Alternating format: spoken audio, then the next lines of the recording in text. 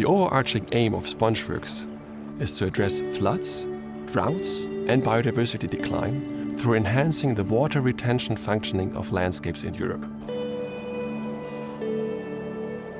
The word sponge also is a bit of a concept, right? It tells about trying to make the landscape function as basically your kitchen sponge. That it, when it's raining, it can absorb that water, and then when there's a lot of water, it will slowly release from that sponge. But at the same time, also if it's very dry, there's still water in it that you can use.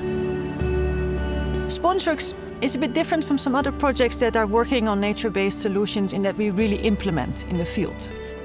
And we implement together with the people that are living there. And we want to do that on a rather large scale.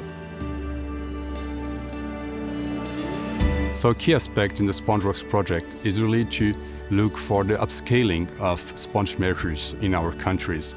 And to do so, we will not only share all the results through a sponge uh, knowledge platform, but we also try to associate as many actors as possible into the community, and this includes associated regions, community of practices.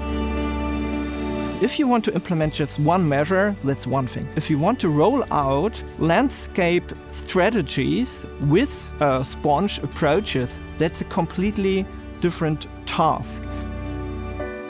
The implementation of uh, sponge measures really needs large-scale investments, and we really want to support actors on the ground to find fitting financial solutions. So there are people who really support sponge measures and taking measures to improve biodiversity, water quality. And on the other hand, there is agriculture and other vested interests that they want to keep what they have. So it's very important to engage in a dialogue and to, to take everyone seriously. Il y avait eu déjà des projets européens euh, précédemment, des projets de recherche notamment. Les parties prenantes, les, acteurs du territoire étaient peu représentés. Ce qui est particulièrement intéressant dans SpongeWorks, c'est que les acteurs locaux, les décideurs locaux, ceux qui sont propriétaires des terrains, les agriculteurs qui exploitent les parcelles agricoles, vont être impliqués dans le projet et seront les partenaires clés.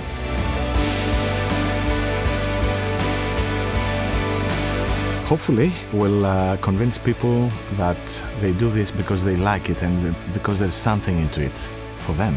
The environment definitely will be benefited, but being realistic, we have to start with the farmers, with the human beings. Κυρίως είναι πάντα επιφυλακτικοί στην αρχή, μέχρι να γνωρίσουν το νέο. Δηλαδή μόλις θα δουν από τον γείτονα, από την περιοχή που θα εφαρμόσουμε εμείς το έργο αυτό και δουν την αύξηση παραγωγικότητας που θα έχει ο διπλανός τους, θα ζητήσουν και αυτοί τον τρόπο και στη συνέχεια πιστεύω ότι το μεγαλύτερο μέρος του δικτύου θα έχει υιοθετήσει αυτή την πρακτική. We planned in our demonstration uh, case for the Vecht several things. First of all, measures at the Vecht itself, river refurbishment, floodplain restoration, also creating wetlands. Otherwise, we are constructing weirs. Have to slow down the runoff of water. That's very important. To reach that goal at the end, a robust water system, we need also a sponge. Because no sponge, no glory. I'm confident that with this combination of scientific ex expertise and practical know-how, we can really make a great leap forward in advancing sponge landscapes in Europe, addressing climate resilience and enhancing it for people and nature.